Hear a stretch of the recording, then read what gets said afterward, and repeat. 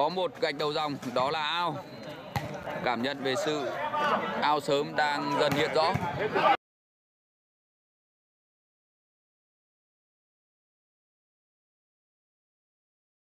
Phòng thủ một tay rất xuất sắc.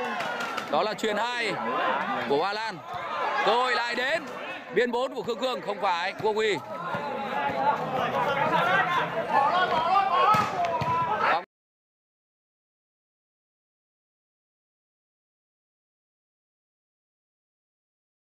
phòng thủ tiếp tục một tay thành công của chuyền hai Hoa Lan Điện Biên Ngọc Cao thu mất rồi